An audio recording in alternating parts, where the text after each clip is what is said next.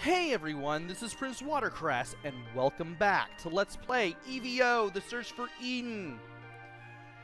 We got a lot of evolutionary points in the last episode as we trek through the volcanic area of the undersea world that we have before us. And now, it's time to enter the third volcanic area. Because once we go in here, it's gonna get wild. Domain of Cephalus. And these guys, these guys love ganging up on you. Thankfully, we have a very powerful form, so once we take out at least one of them, doing things is going to be a bit easier.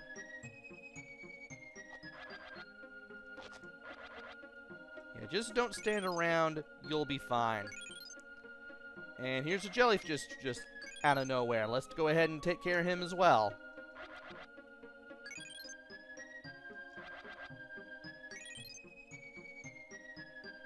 And we're now nearing the cave that is here. Got a couple more of these guys.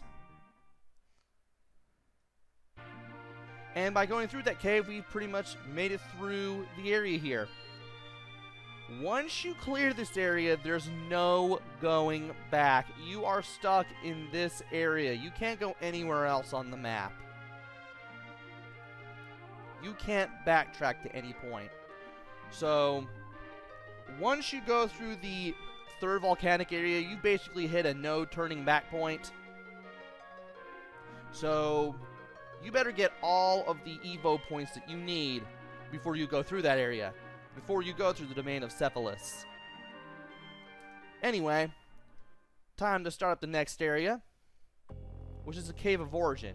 For some reason, I kept thinking the first cave in this chapter was the Cave of Origin. That's something else. I kept thinking the Cave of Guidance was the Cave of Origin. Nope, this is a Cave of Origin. I was thinking, probably thinking a little too far ahead when I did that. But anyway, now that we are here, we might as well go ahead and fight off some enemies here a little bit. Get behind these trilobites here. Stay on their level so that way their attacks can't get the better of us. Don't know why I dashed in front of that, but, well, we're able to heal our, heal our, the damage we've taken anyway. Managed to get 200 Evo points and 16 health off that one squid there. These guys will try to attack you from below. They just try, when you're lined up with them vertically, they will try to stab you from below. But if you can line yourself up with them, they make for some pretty good Evo point gainage. And as soon as you make it to the end of this little section, you get some dialogue. The seaweed whisper to one another. Friends, the Strolites are trying to create a new world using oxygen. I'm assuming that these are the underwater plants we've been seeing all throughout this chapter. They are having trouble because the Kuraselaches keep interfering with them. So apparently, there are some fish who are trying to stop evolution.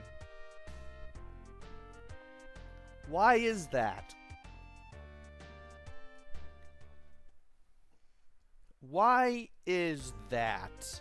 Well, we're going to go into the domain of Kuraselache to find out.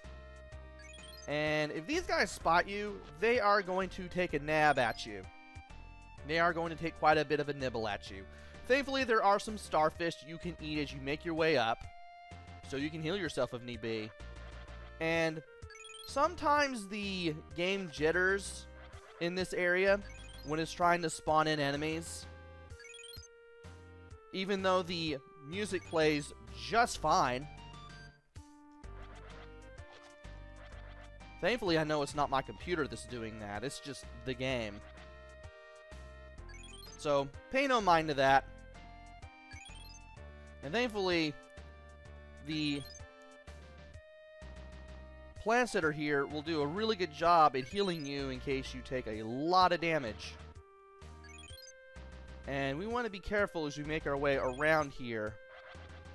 And these guys can be very aggressive. You just want to got to be quick on the draw when it comes to nomming on them, so that way they don't give you a hard time. I'm gonna eat your flesh. There. And you did not heal as much as I thought you would. Oh well. I'm gonna wait for you to drop down, just so I can get all that experience, because every little bit is going to help. The Strolites whisper to one another. If we can move along the bottom of the sea without sticking, we would not have to be ruled by the Kuraselache. Shh! Speak quietly or the leader in the cave will hear you. So we're near the head honcho's lair here. This doesn't look good. So there are two entrances out of here. If you go above the cave and go to the right, you'll go to the land, but you won't be able to do anything there. And if you get out of the water, you will start losing hit, points due to lack of oxygen, and you'll have to get back in the water in order to save yourself. So we need to go into the cave here. And once we go into the cave, we can't go back go back out. This is the king of the Kuraselaches. Huh? Who are you? Knowing this is the domain of the Kuraselache, king of the sea, why are you here? Are you not trying to help the Strolites build a new world? Well, this world has to have oxygen. The sea is the only world. I will defeat anyone who helps the Strolites. And this guy just wails on us. We just lost about half our hit points just like that. Trying to attack the king of the Kuraselache with your bite attack is going to be a pain in the butt. So here's what you need to do. You need to equip the Spiraled Horn, which is only 300 points. The original horn isn't strong enough. The Angler's Horn does basically nothing for this fight. And the Swordfish Horn will give you a rather nice pointy bill, but you lose whatever jaws you have until you lose the horn you'll basically have the face and jaws of a swordfish. So don't get the swordfish horn. Instead, get the spiral, spiral, the spiral horn. And just keep stabbing this guy. Wait for him to stop swiping with the tail as a counterattack, then hit him again with the horn just by dashing into him. You'll get 10 hits up. You'll get 10 hit points a pop every time you hit him by doing this. Of course, the horn will break, but at least you'll get a heal out of it. Okay, I'm on horn.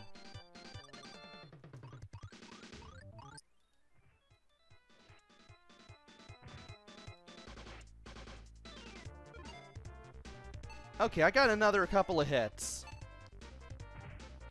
Alright, I need you to get away from me so that way I know that I can do this.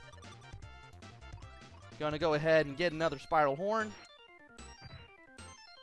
I need to wait until he does that. Guy has about 80 hit points, and after about 8 stabs from the thing, you'll be able to get a bunch of sushi. You'll be able to get 4 pieces of sushi worth 250 evolutionary points each. There's supposed to be 4, but I didn't have the have the screen scroll to the right all the way, and when that last piece went into the wall, it pretty much went off screen and therefore I can't get it. But it's not like the evolutionary points are going to be a be anything important as soon as you're going to find out because we're going to lose them all pretty shortly anyway. So let's go ahead and get out of this cave. And as soon as we do, we have all these air bubbles.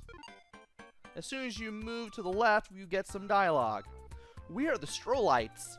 Outside the sea, a world filled with oxygen is being born. The entrance is here.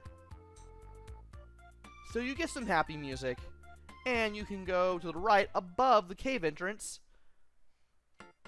to go to the Coast of Pange, which I'm assuming is supposed to be the thing that you're supposed to do. And apparently because I kept dashing or something, maybe, I guess, I just kept dashing when I made my way here because I didn't enter a new area.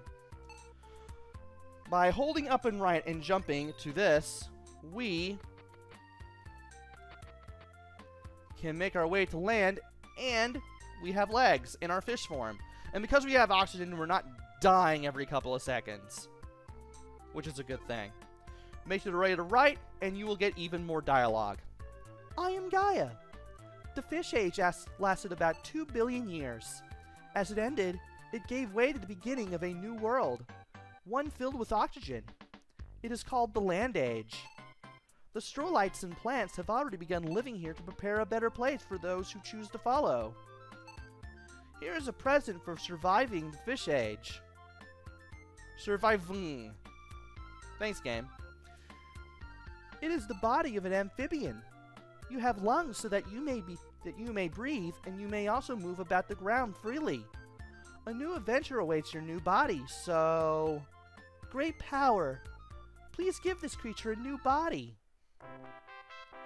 And we get a brand new amphibian body and we lose all of our stats and all of our hit points. We now have a fresh slate to work with. Again. Let us go to the era where the creatures reach land. We shall use the time trans. And Gaia opens a portal for us, and we can go on to chapter 2 in this new body, where we will have to build up our stats and our Evo points again. The next stage is the age of amphibians. Let me get a drink of water here. Or tea, rather. Ah.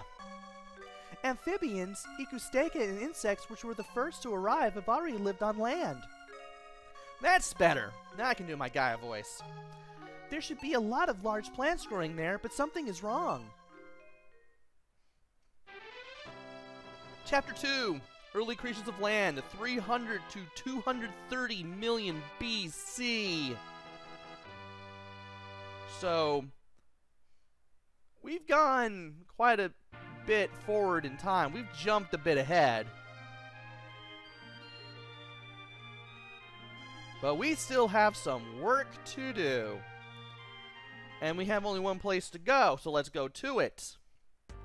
It's more of the coast of Pange. And we're not very fast. We can't jump very high. Our jaws are not the best.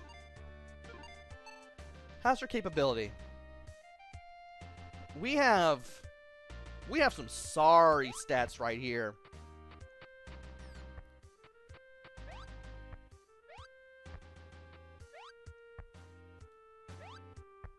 And I was able to jump up there right easily, but you're supposed to just jump up to where the yellow crystal is and then up to there to the left where all these hermit crabs are. But we do have a yellow crystal. That'll give us a hint. Evo tip. Welcome to the world of amphibians. If you evolve your tail, you'll increase your jumping ability and your HP. That is something we should probably keep in mind. Also, these guys are virtually harmless, and they heal three hit points with each one that you eat. So this will make for a good healing spot in case things go bad.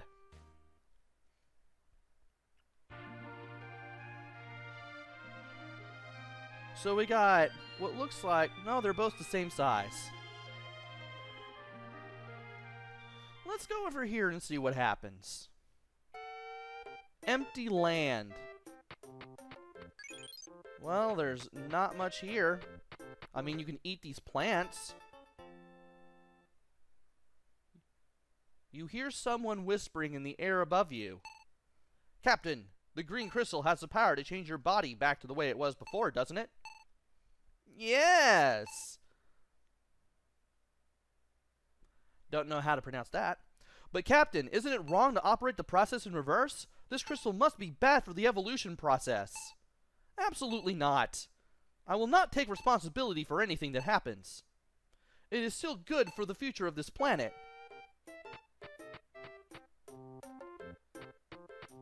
Weird. Well, we could eat the crystal here. Nothing happens. I guess if you had another form, you could use it to change back to your previous form in case you saved, like, a red crystal or something. I guess. I've never found any use for them. But by going through here, just by going to the right, we get nothing. So we have to go all the way to the left.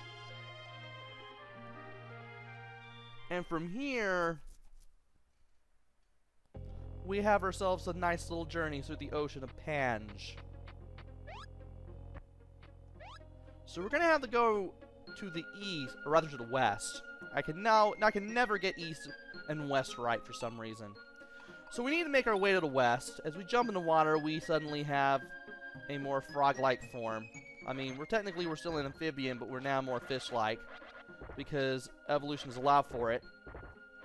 And if you could stop nomming on me, that would be great. At least there's plenty of seaweed I can eat. Um, we are koala fish.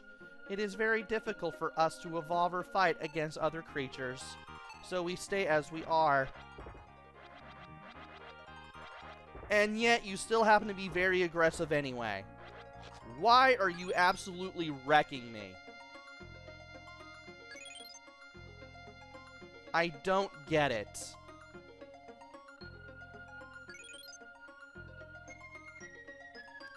Now, interestingly, as long as you don't bother them, they don't bother you. That's usually a good thing. I still want some Evo points. I still want to make it so that I can actually do some things and defeat some enemies. And as much as I would like to have a tail, I feel like having better jaws would also work just as well.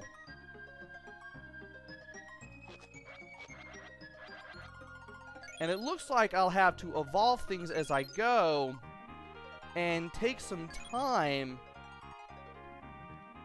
to just, you know, make myself better and better. So anyway, you have to jump out of the water once you reach the end, and when you do, you'll have to go through here and go all the way to the right, just so you can clear this area and go on to the next.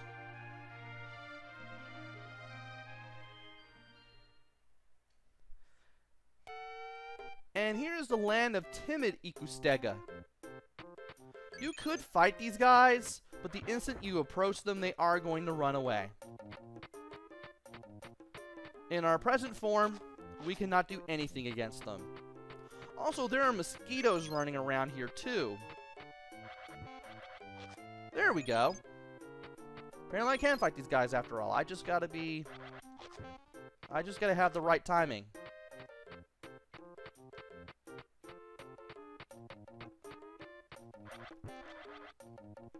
There we go. So you can fight these guys. It is better to evolve yourself, though that way it is easier to destroy enemies. And by going over here, to the north, we'll enter another world, the land of Bull Ikustega. Now these guys are greener and meaner. These guys will not only bite at you, but they'll also try to Mario you as well, just by jumping on you for some extra damage. Just running up to you and just... stomping you like Finn Balor. I have no idea if that WWE reference will date this video or not. Then again, people will probably still call him Finn Balor even after he leaves the company, so it's not really going to matter, is it? In case I didn't mention the mosquito, yeah, you if you can up your stats, you can actually fight those things for some experience and health, which is really good. So I definitely want to work on getting that. And here is one more area that I'm going to do for this video. I don't want to go to the next one because if you're not evolved in any way, when you go to the area after this one, which is the land of amphibians, you are going to get wiped out. And you will be brought back with half of your Evo points. Get out, stranger. This land is owned by the Elder who takes care of plants. So... Oh, we got these guys too. These little tiny Triceratops enemies that will try to headbutt us.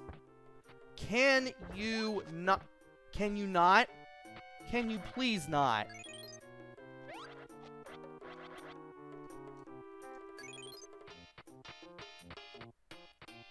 Okay, so I got a little bit of healing. Got a little bit of healing off of that.